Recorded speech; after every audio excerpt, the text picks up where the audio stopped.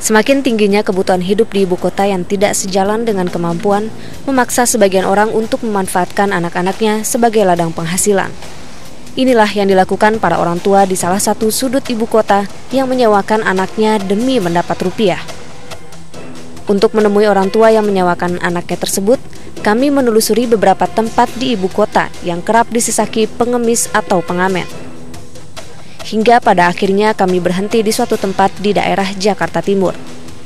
Kami menghampiri seorang ibu muda yang sedang menggendong anaknya. Menurut informasi yang kami dapat, dia kerap meminjamkan anaknya pada pengamen dan pengemis untuk membantu ekonomi keluarga. Walaupun sang ibu mengaku khawatir dan tidak tega melihat anaknya disewakan untuk mengamen dan mengemis, namun akhirnya dia harus mengalah pada dorongan kebutuhan ekonomi yang begitu kuat. Kami juga menemui ibu penyewa yang kerap mengajak anak-anak untuk menemaninya mengamen di jalanan.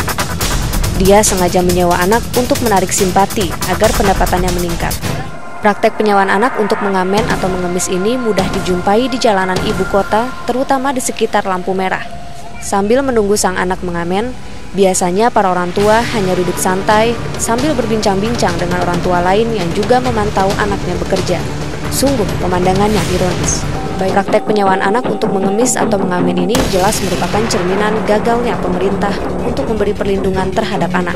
Apalagi para orang tua anak tersebut tidak mendapat pendidikan yang layak dan kehidupan ekonomi yang baik. Sehingga tanpa pikir panjang, mudah saja bagi mereka memanfaatkan anak-anaknya untuk mengais rezeki. Tim Liputan Metro TV.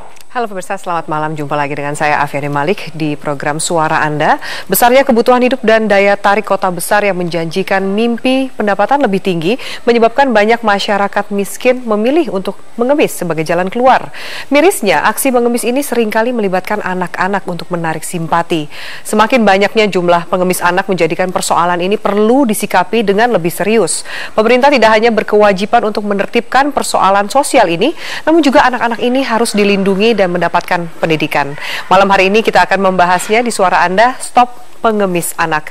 Saat ini di studio sudah hadir Komisioner Komisi Perlindungan Anak Indonesia atau KPAI M. Ihsan. Selamat malam Mas Ihsan. Selamat malam Mbak Api. Ya, dan tadi juga kami sudah mencoba untuk uh, menghubungi, mengundang pihak dari Kementerian Sosial, namun mereka berhalangan dan menolak untuk hadir dalam acara ini. Namun kami mengundang Anda pemirsa untuk berpartisipasi. Jika Anda memiliki pendapat, silahkan telepon bergabung bersama kami ke 021583022. Langsung kita bahas Mas Ihsan permasalahan permasalahan ini tadi kita sudah lihat ya. Yeah. Tadi itu hasil liputan kami, Mas. Miris sekali ketika kita melihat um, orang tuanya ini akhirnya yang menyewakan anak dan mendorong anak untuk jadi uh, pengemis jalanan. Sebenarnya fenomena yang Anda lihat semakin tahun ini seperti apa pengemis anak ini? Ya, uh, jadi ini uh, persoalan yang tahun ke tahun tidak pernah bisa kita hentikan. Mm -hmm. Di mana kemudian di lampu merah ada orang yang menggendong bayi, mm -hmm. kemudian mengemis di Jangan. mobil ke mobil. Mm -hmm. uh, sebetulnya kalau kita melihat dari uh, sisi peraturan baik dari Undang-Undang 23 tahun 2002 tentang perlindungan anak mm -hmm. maupun Perda DKI mm -hmm. itu merupakan bentuk pelanggaran pidana dan denda kurungan maupun denda dalam bentuk uh, pembayaran. Mm -hmm. Nah, tapi kemudian persoalannya Tapi sanksi dan denda hanyalah sampai hari angin ini lalu tidak saja pernah ya? diterapkan, ya? tidak mm -hmm. pernah diterapkan. Ini memang dilema yang luar biasa. Kemarin kami sempat bicara dengan Pak Ahok, wakil gubernur, yeah. Iya. uh, tentang fenomena ini, apa yang harus kita lakukan. Uh, jadi ini memang merupakan yang pertama kaitan dengan Ramadan ini ada tren musiman. Mm-hmm. Ada fenomena Ramadan ya, ini fenomena digunakan. Ramadan. Itu mm-hmm. itu jumlahnya sangat besar. Kalau hari biasa mm-hmm. itu sekitar 13.000 anak-anak yang hari biasa mm-hmm. di Jakarta. Mm-hmm. Di, di DKI Jakarta. Jakarta. Mm-hmm. Kalau Indonesia itu 230.000. Mm-hmm. Jakarta 13.000. Mm-hmm. Dari 4,8 juta anak yang terlantar yeah. itu. Mm-hmm. Nah, tapi kalau hari trennya di menjelang Lebaran itu bisa naik sampai uh, 50-60 persen dari jumlah biasa. Oke. Okay. Ini datang dari berbagai daerah ini dari uh, Jawa, dari Lampung, mm -hmm. mereka masuk ke Jakarta mm -hmm. mengharapkan sumbangan eh, sumbangan-sumbangan yang diberikan oleh para donatur pada saat bulan puasa, puasa dan menjelang Lebaran. Mm -hmm.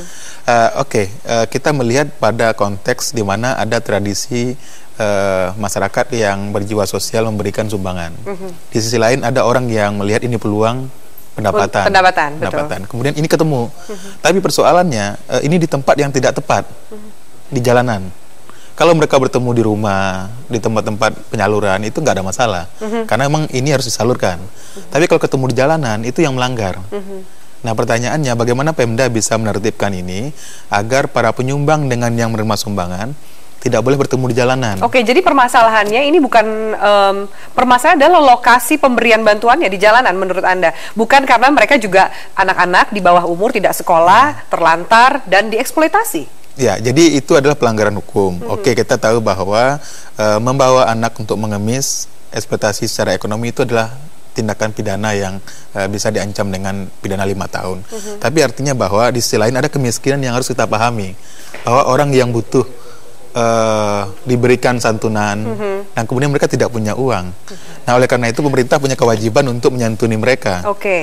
Nah, uh, persoalan kita adalah mereka turun ke jalan itu yang jadi masalah. Tapi kalau kemudian ini bisa di uh, diwadahi dengan baik, dengan gitu, baik dan mereka kemudian dibantu diberdayakan, uh-huh. itu kewajiban pemerintah. Uh-huh. Karena dalam Undang-Undang Dasar itu adalah tanggung jawab negara. Baik, Mas Isan, seberapa uh. banyak ini kemudian para pengemis ini, para orang tua yang kemudian uh, mendorong anaknya untuk menjadi pengemis atau bahkan menyewakan ini memang orang miskin. Kita tahu bahwa pendapatan di yeah. jalan raya, Mas, itu tidak kecil loh. Yeah. Ya kan? Apakah mereka Betul. masih layak disebut orang miskin dengan pendapatan mungkin orang yeah. tuanya 3 juta sampai 5 juta per bulan dari hasil mengemisnya? Jadi jadi uh, publik sudah tahu survei-survei yang pernah dilakukan mm -hmm. pendapatan mereka itu antara uh, 60 sampai 200 ribu per, per hari. hari.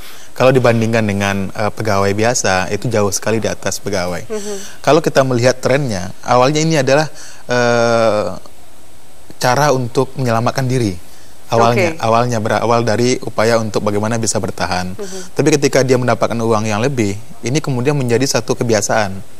Nah, lama-lama keenakan juga ya dapat ya, uang. Tinggal mengulurkan tangan ya. kemudian mendapatkan uang. Ditambah dengan pemerintah tidak punya sistem yang kemudian bisa uh, menerapkan aturan yang ada. Karena okay. dalam Perda itu sudah dikatakan Baik. orang yang memberi di jalan mm -hmm. dan orang yang mengemis di jalan, dua-duanya kena ancaman hukuman. Oke, okay. saya masih ingat itu dan juga itu peraturan itu sempat uh, apa ya menyebabkan kontroversi di masyarakat. Yeah. Kita akan lanjutkan sesaat lagi pembicaraan yeah. ini, Mas Isan dan pemirsa. Kami akan lanjutkan pembahasan ini sesaat lagi. Tetaplah bersama kami di Suara Anda.